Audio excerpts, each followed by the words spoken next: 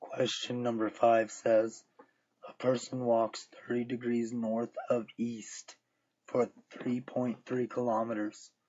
How far due north and how far due east would she have to walk to arrive at the same location?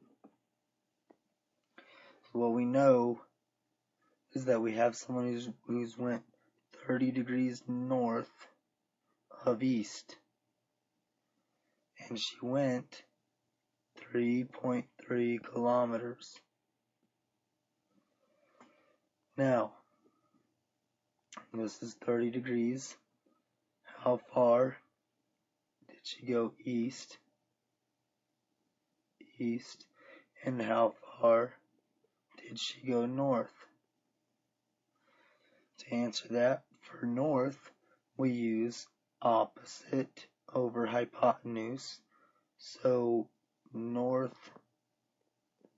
over 3.3 kilometers equals sine 30 degrees.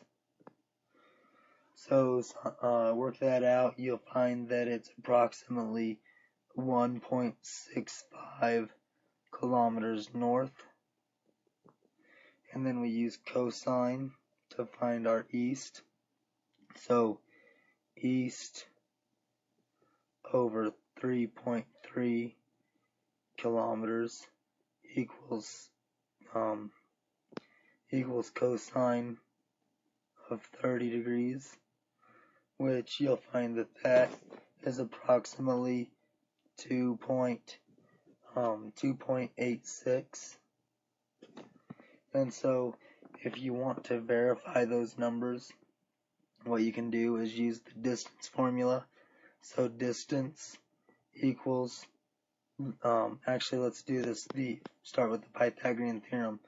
The distance squared equals the x unit, the change in x squared plus the change in y squared. That gives us the distance formula of the square root of the change in x squared plus the change in y squared.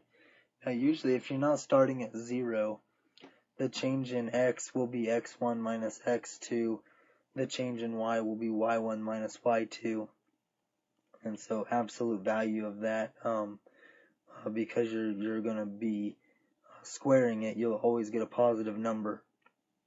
So that is the distance formula.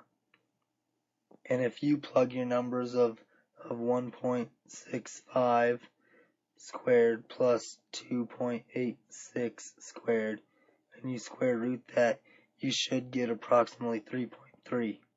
And if you don't, then you're, you did something wrong with your math because it equals 3.3.